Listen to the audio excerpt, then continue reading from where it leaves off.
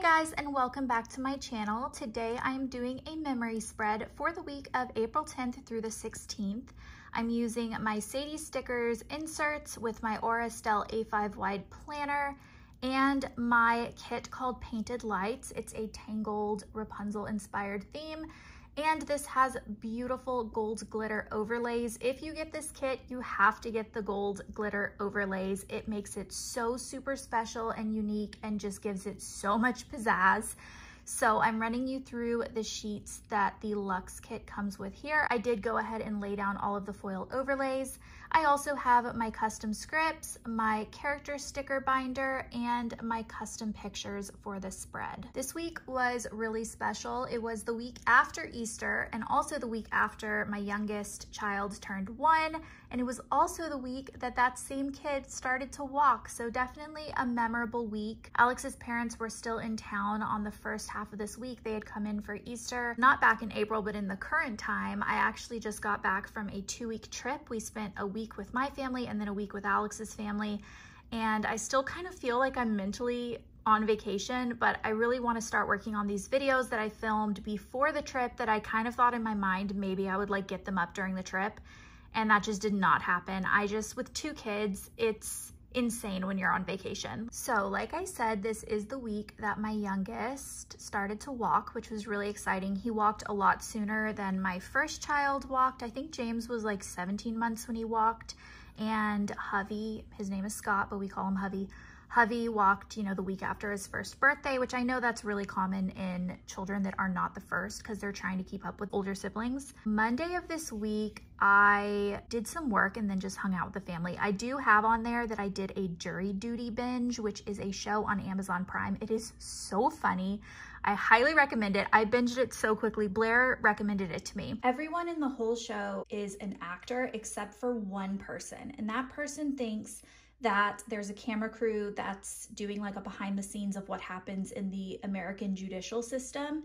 And he doesn't know that he's the only one who's not an actor. So everyone else is in on it. And they make this court case and trial so crazy, but crazy within the realm of like it could be possible. So he has no idea.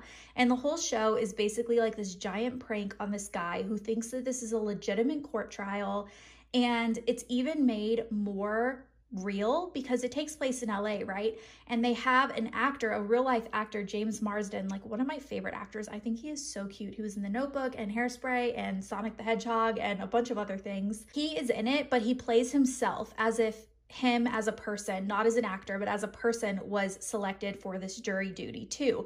And because the main guy like recognizes him and knows that he's like an actor, it makes it even more realistic that this is like an actual jury duty trial.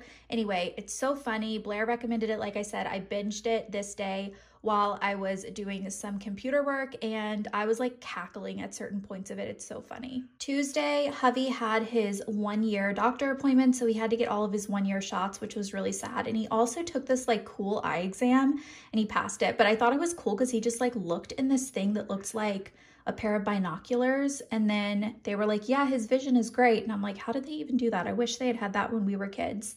And then in the evening i just have that we did a family movie night and that papa goot made burritos and cookies. He cooks every time he comes into town or we go visit them but his burritos and his cookies are like my favorite things that he makes. They're so good. So we had those.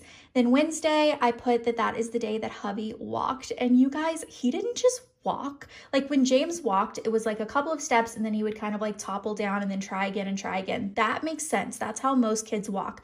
Hovey took off and did like 12 steps in a row. And then grandma and grandpa took James to Chuck E. Cheese's. It was their last day and they wanted to do something special. And Alex and I stayed home and we watched The Last of Us. Thursday morning, the Goots left pretty early. So when we woke up, they were already gone. And I had a doctor's appointment with my rheumatologist. I had to get some Um, blood work done that I have to do like regularly in order to make sure that my autoimmune medication is okay on like my kidneys and my liver. Everything was good. And then I came home and I ordered some cute clothes for the boys because Hovey had outgrown all of his things, and then every time I order things for Hovey, I order things for James too. Friday, James got a haircut. I put that I had like a ton of laundry. I don't know how I got so behind on laundry, but I had like six loads to do that day, and I was so frustrated with myself. And I was like, why do I let myself get so behind? The weekend ended up being unexpectedly really fun. So, first, we woke up on Saturday to a knock on the door,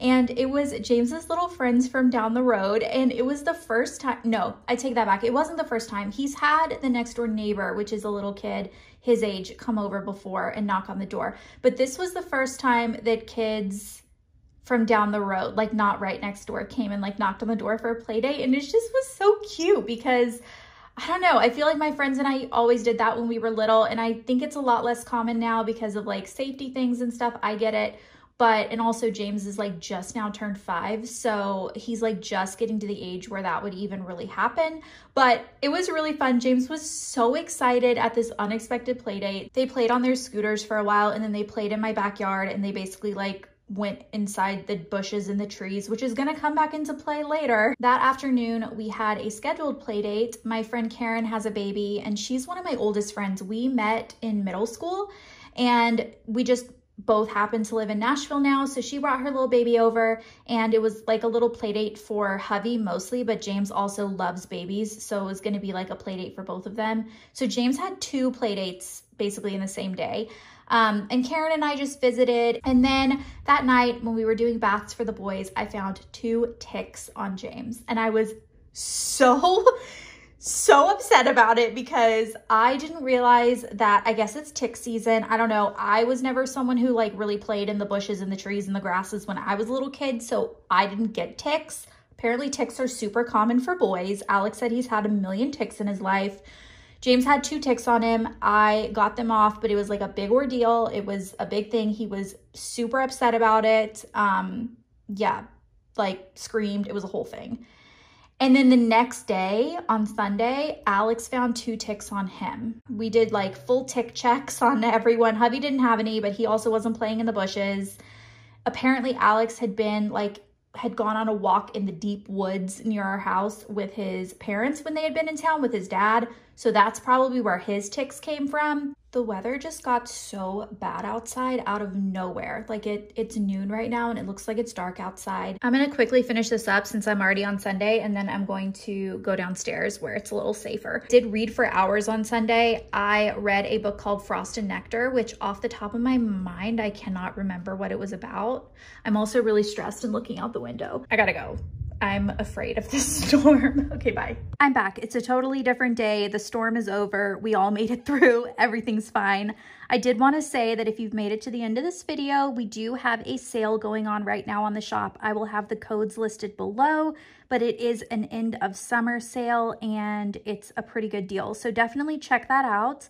Here is the end reveal of the spread. I think it turned out really beautifully and I hope you guys enjoyed this video and I'll see you next time. Goodbye.